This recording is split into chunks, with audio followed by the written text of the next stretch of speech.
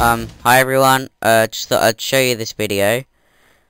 Um, it's about this website I found, and it's all about QR codes.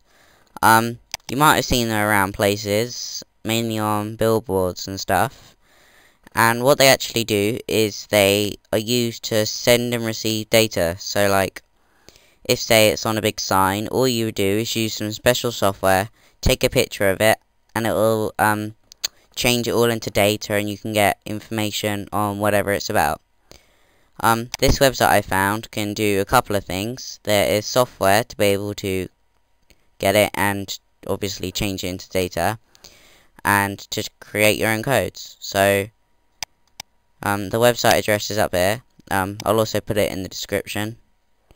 Okay, so let's give it a go. So let's say we wanted, um, uh, let's say hello. So you just type it in under text, generate, and there it is, the code. So it's really simple.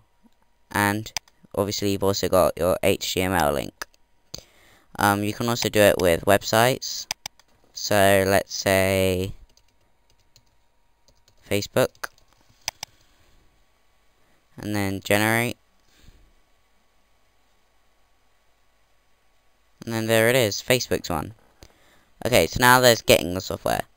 Um, the software um, goes onto your phone, and um, you need to have a phone with a camera to be able to do it. So we go to Kaywa Reader, and this basically gives you instructions. So we click to download.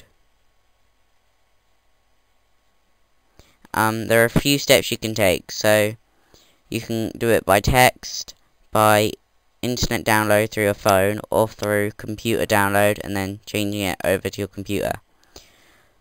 Um, I would probably recommend you do computer to your phone, mainly because if you have to pay for your internet, you're better off doing it through your phone.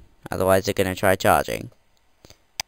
Um, remember, when you're downloading it, though, um, it will be free, but uh, take pictures and change them, you have to pay for internet there. So if you got free internet though, you're okay.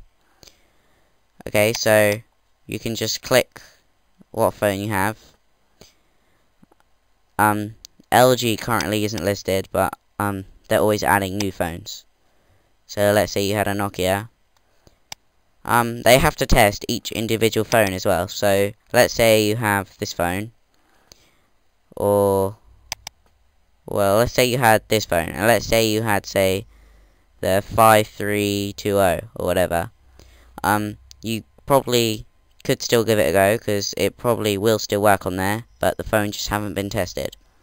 So yeah, just play around, just give it a go, and then fill out the steps, and you can download it on your phone.